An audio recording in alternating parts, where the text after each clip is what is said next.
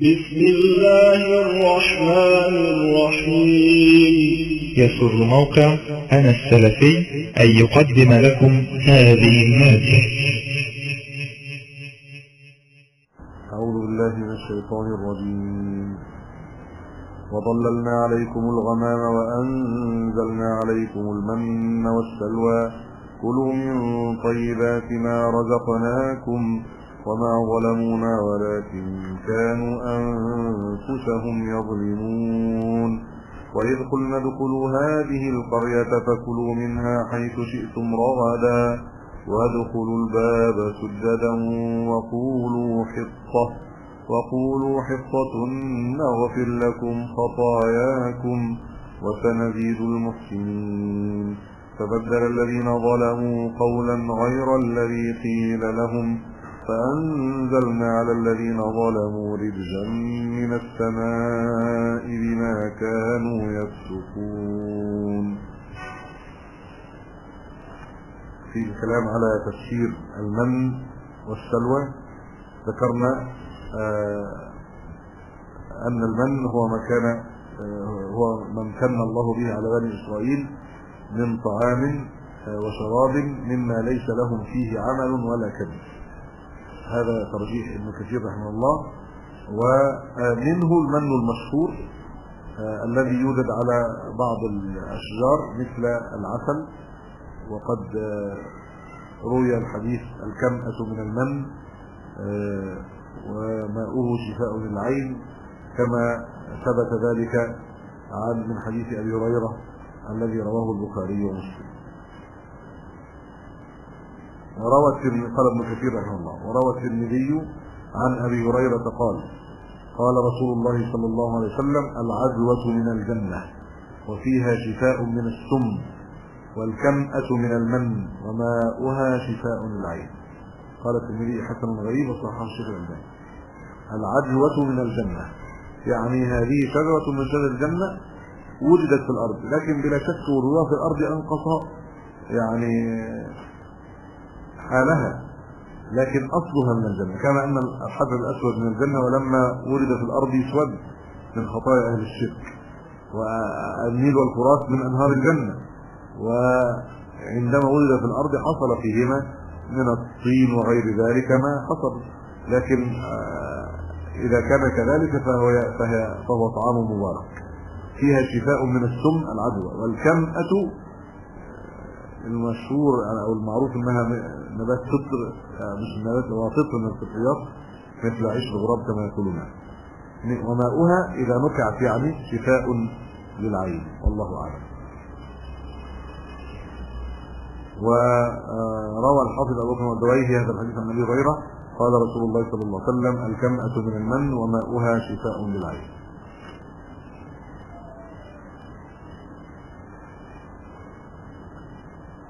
وحديث العدوى الكمأة من وماؤها شفاء للعين والعدوى من الجنة وهي شفاء من السم قد رواه أيضا النسائي. رواه الترمذي والنسائي. وروى النسائي أيضا وابن ماجه حديث شهر هذا بقصة العدوى عند النسائي. إلا أنه منقطع.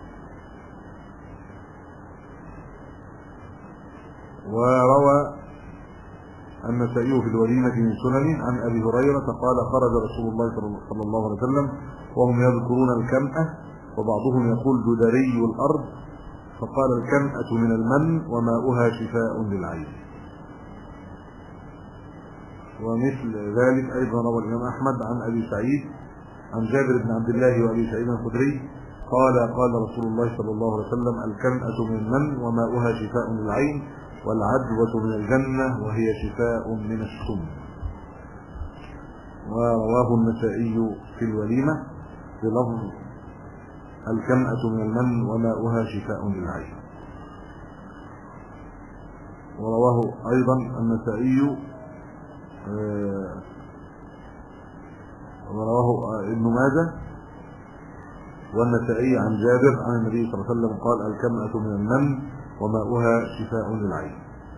وروى ابن مردويه من حديث أنس أن أصحاب رسول الله صلى الله عليه وسلم تدارأوا يعني اختلفوا في الشجرة التي تثبت من فوق الأرض ما لها من قرار فقال بعضهم نحسبه الكمأة فقال رسول الله صلى الله عليه وسلم الكمأة من المن وماؤها شفاء للعين والعدوة من الجنة وفيها شفاء من السم.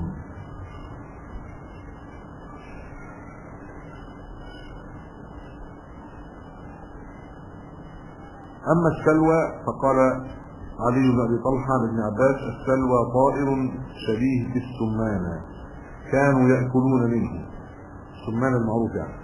وقال السدي في خبر ذكره عن ابن عباس وعن ابن مسعود وعن ناس من الصحابة السلوى طائر شبيه السمانة وروى ابن أبي حاتم عن ابن عباس قال السلوى هو السمانة وكذا قال مجاهد والشعبي والضحاك والحسن وعكرمة والربيع ابن أنس رحمه الله تعالى.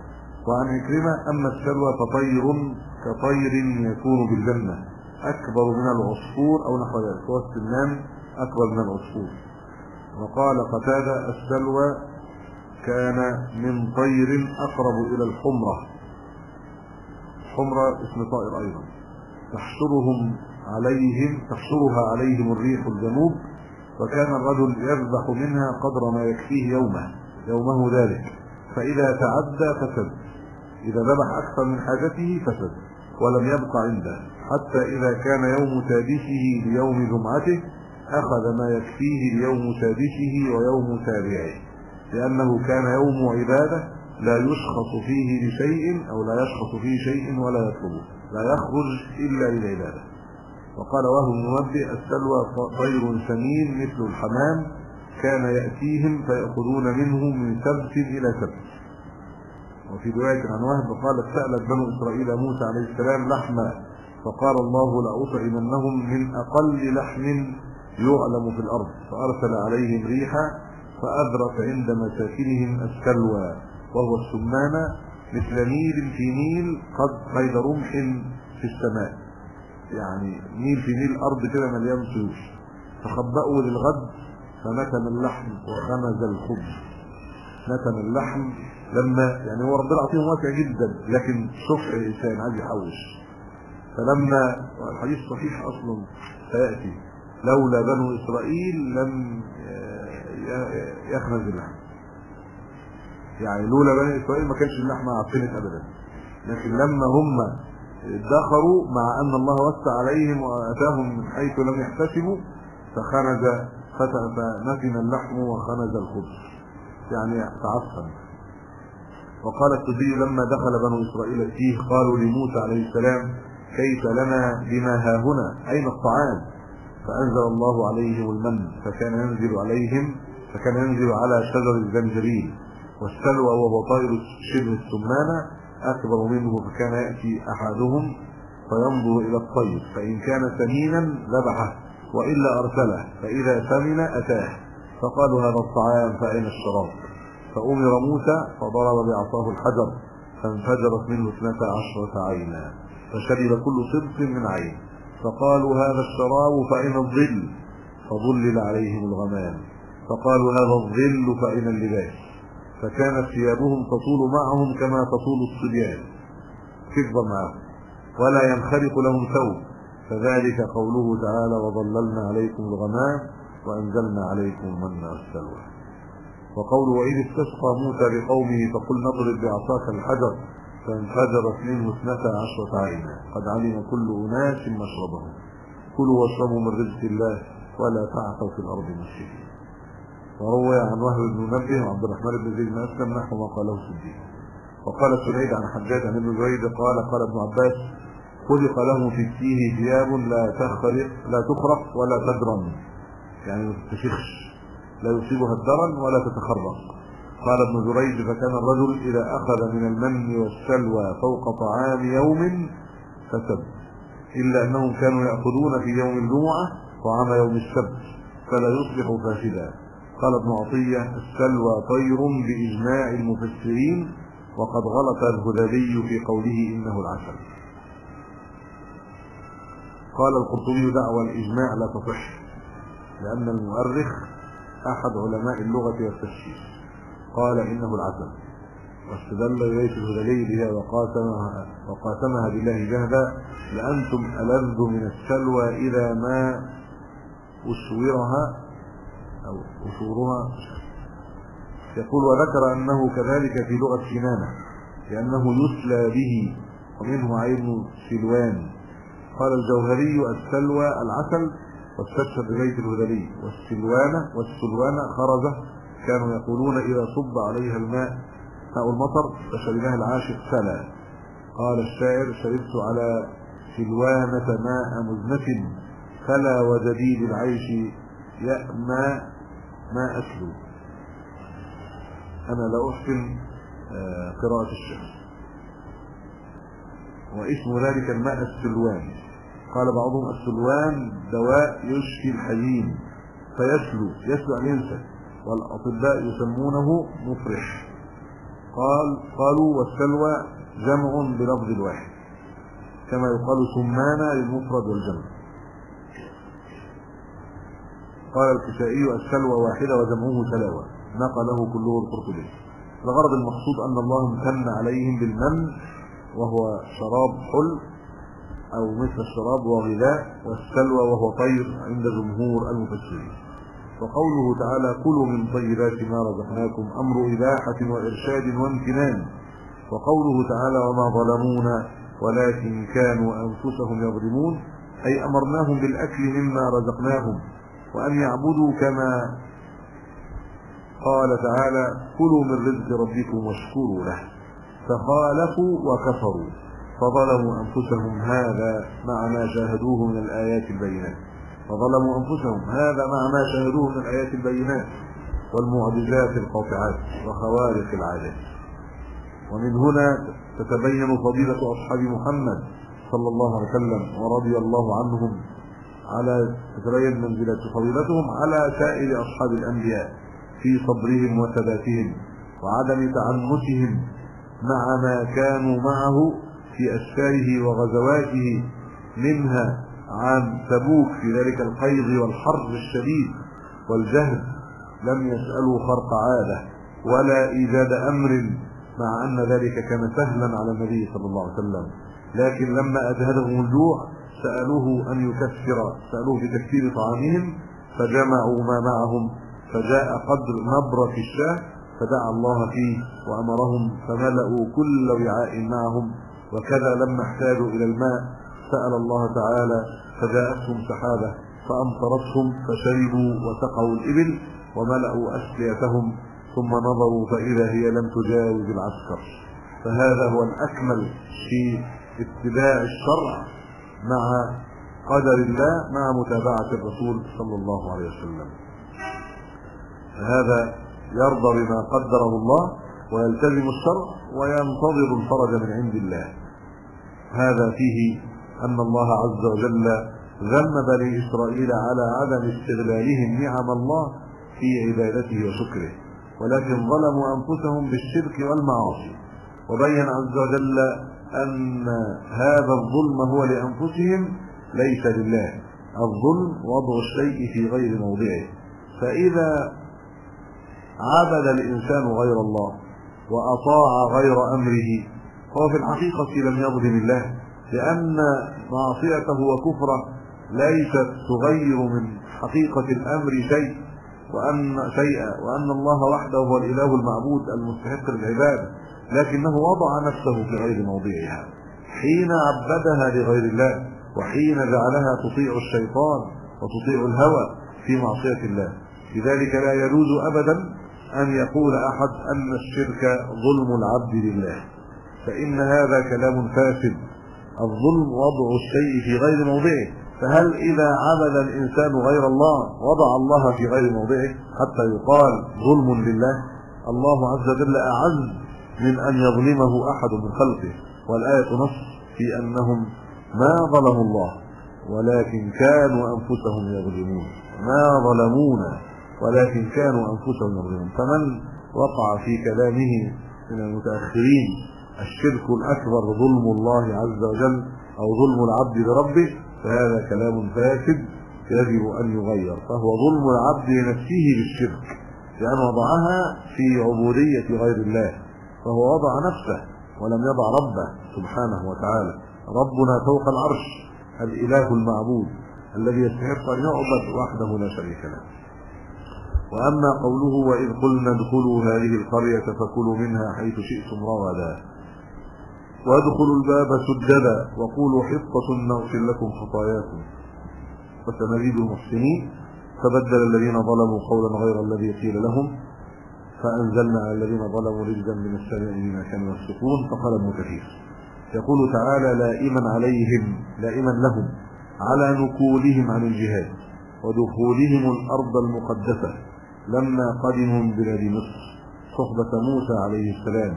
فأمروا بدخول الأرض المقدسة التي هي ميراث لهم عن أبيهم إسرائيل.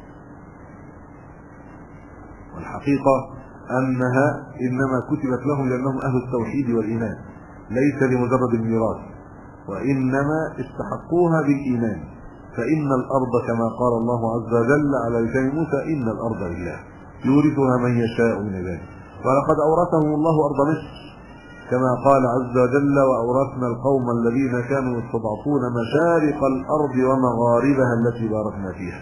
وقال كذلك وأورثناها بني إسرائيل وما كانت بميراث من أبيهم يعقوب ولا غيره فلم يستحقوها لأنها ميراث عن أبيهم إسرائيل إنما استحقوها بتوحيد الله ولما عصوا الله حتى لو كانوا موحدين لم يستحقوها وإنما استحقها الجيل المؤمن مع يوشع بن نون بالإيمان والإسلام فالإيمان والإسلام هو الصفة التي يمكن الله عز وجل لعباده في الأرض.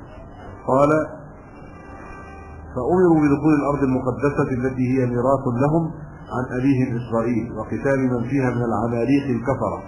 كنا قلنا العماليق أولاد عمليق ابن سام بن نوح. وليس أنهم عماليق يعني كبار في الإيه؟ في الحجم.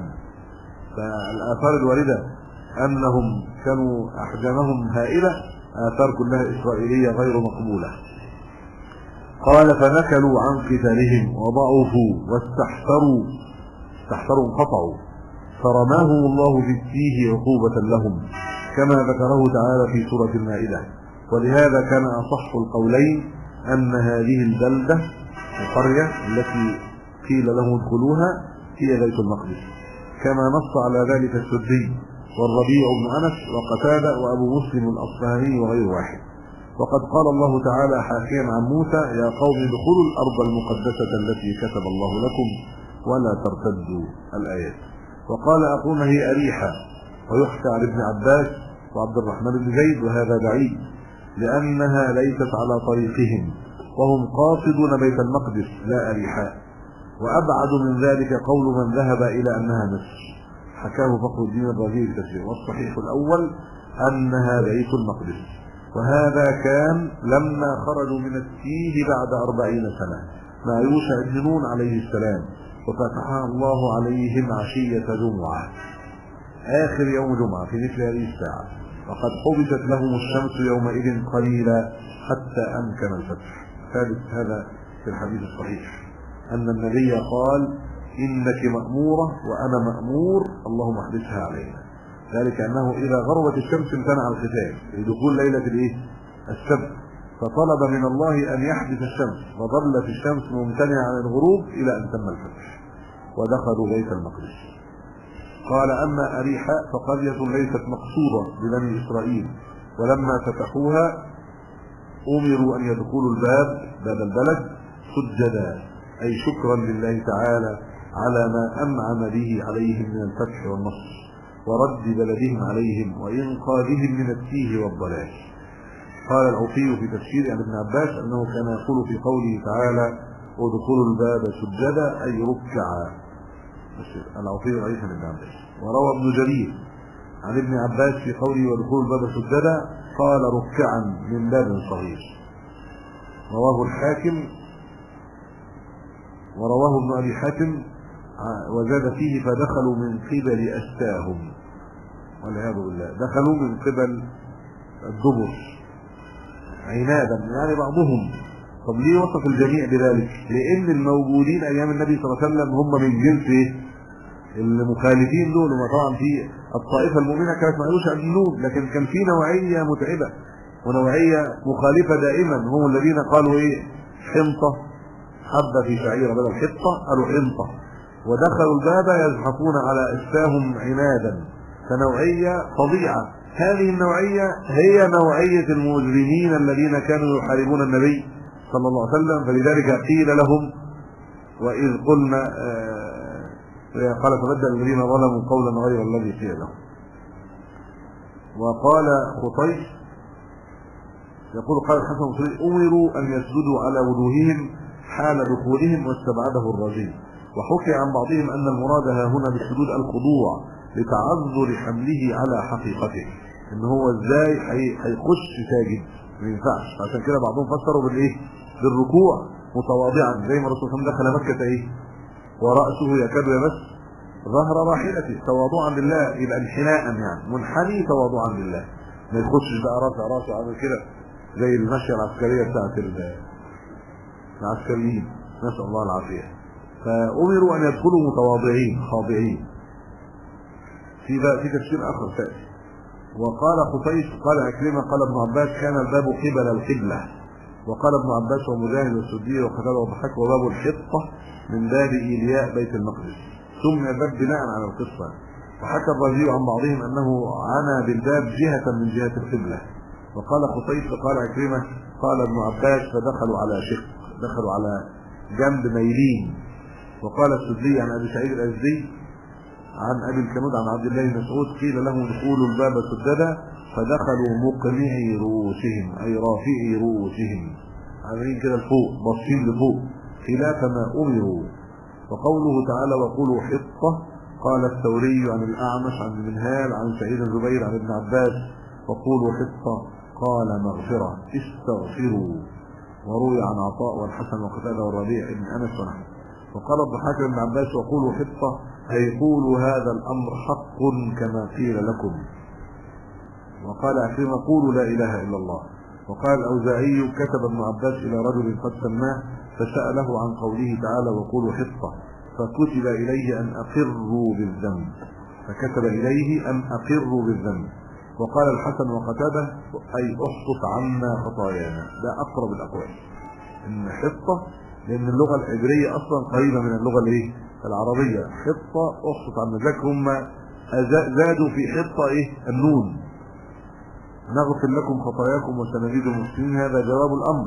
أي إذا فعلتم ما أمرناكم غفرنا لكم الخطايا الخطيئات وضاعفنا لكم الحسنات.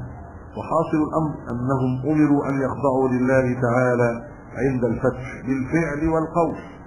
وأن يعترفوا بذنوبهم ويستغفروا منها والشكر على النعمة عندها والمبادرة والشكر على النعمة عندها والمبادرة إلى ذلك من المحبوب عند الله تعالى. كما قال تعالى إذا جاء نصر الله والفتح ورأيت الناس يدخلون في دين الله أفواجا فسبح بحمد ربك واستغفره إنه كان توابا. فسره بعض الصحابة بكثرة الذكر والاستغفار عند الفتح والنصر وفسره ابن عباس بأنه نعي إلى رسول الله صلى الله عليه وسلم أجله فيها أو نعي إلى رسول الله صلى الله عليه وسلم أجله فيها وأقره على ذلك عمر رضي الله عنه. ولا منافاة بين أن يكون قد أمر بذلك عند ذلك ونعي إليه روحه الكريمة أيضا. ولهذا كان صلى الله عليه وسلم يظهر عليه الخضوع جدا عند النصر. كما روي أنه كان يوم الفتح فتح مكة داخلا إليها من الثانية العليا وإنه لخاضع لربه حتى إن عثنونه لا يمس مورك رحله. طرف رأسه. طرف رأس النبي صلى الله عليه وسلم يكاد يمس ظهر الراحلة أو مورك الرحل اللي وضع عليه بركة. شكرا لله على ذلك. ثم لما دخل البلد اغتسل وصلى ثمان ركعات وذلك ضحى. فقال بعضهم هذه صلاة الضحى وقال أخونا بل هي صلاة الفتح. فاستحبوا للإمام والأمير إذا فتح بلدا أن يصلي فيه ثمان ركعات عند أول دخوله. وده بقى يبقى السجود محمول على إيه؟ على حقيقته. انه دخل فإيه؟ فسجد. فصلى صلاة فيها سجود. فيدخلوا بما سجدا يدخلوا. أول ما يبدأوا يبدأوا بالعبادة التي فيها السجود. قال فعند كما فعل سعد بن أبي وقاص رضي الله عنه لما دخل إيوان كسرى صلى فيه ثمان ركعات. والصحيح أنه يفصل بين كل ركعتين بتسليم وقيل يصليها كلها بتسليم واحد والله أعلم. بناء على أن صلاة النهار مثنى مثنى فيصلي ثمان ركعات كل ركعتين بتسليم. وقوله تعالى فبدل الذين ظلموا قولا غير الذي قيل لهم روى البخاري عن أبي هريرة عن النبي صلى الله عليه وسلم قال قيل لبني إسرائيل ادخلوا الباب سجدا وقولوا حطة. فدخلوا يزحفون على اسفاهم فبدلوا فقالوا حطة حبة في شعرة. حبة في شعرة هي إيه حبة في شعرة دي؟ القمحة. القمحة تلاقيها الشعيره الحنطة والشعير تلاقي عبارة في سنبلتها عبارة عن فيها شعرة عبارة عن كفاء قبل ما تت تزال القشرة تلاقيها لها طرفين كده. فهم حطوا النون تحريفا للكلمة. فاصبح حنطة وغيروها قالوا حبة في إيه في شعرة حبة حنطة حبة قمح أو شعير في إيه في شعرة اللي هي لها طرفين مدببين. والعياذ بالله. وفي رواه النسائي في قوله حطة قالوا فبدلوا وقالوا حبة. وقال عبد الرزاق بسنده عن أبي هريرة قال قال رسول الله صلى الله عليه وسلم قال الله لبني إسرائيل ادخلوا الباب سجدا وقولوا حطة نغفر لكم خطاياكم فبدلوا ودخلوا الباب يزحفون على اسكاهم فقالوا حب في شعره. هذا صحيح رواه البخاري والترمذي وقال حسن صحيح. وقال محمد بن إسحاق كان تبديلهم كما حدثني صالح بن كيسان عن صالح مولى التوأمة عن أبي هريرة وعمن لا أتهم ابن عباس أن رسول الله صلى الله عليه وسلم قال دخلوا الباب الذي أمروا أن يدخلوا فيه سجدا يزحفون على أساهم وهم يقولون حنطة في شعيرة. نعوذ بالله. استهزاء والعياذ بالله وسخرية وروى أبو داود عن أبي سعيد الخدري عن النبي صلى الله عليه وسلم قال قال الله لبني إسرائيل ادخلوا الباب سجدا وقولوا حطة نغفر لكم خطاياكم. في الرواية الأخرى قال عن أبي سعيد الخدري قال سرنا مع رسول الله صلى الله عليه وسلم حتى إذا كان من آخر الليل أجزنا في ثنية يقال لها ذات الحنظل. فقال رسول الله صلى الله عليه وسلم ما مثل هذه الثنية الليلة إلا كمثل الباب الذي قال الله لبني إسرائيل ادخلوا الباب سجدا وقولوا حطة نغفر لكم خطاياكم. ثانية مكان ضيق بين جبلين. وروى سفيان الثوري عن البراء في قوله سيقول السفهاء من الناس قال اليهود. قيل له ادخلوا الباب سجدا. قال ركعا. وقولوا حطة أي مغفرة. فدخلوا على أساهم وجعلوا يقولون حنطة حمراء فيها شعيرة. فذلك قول الله تعالى فبدل الذين ظلموا قولا غير الذي قيل لهم. وعن ابن مسعود وقولوا حطة فقالوا حنطة حبة حمراء فيها شعيرة. فأنزل الله فبدل الذين ظلموا قولا غير الذي قيل لهم. قولوا قولي هذا وأستغفر الله.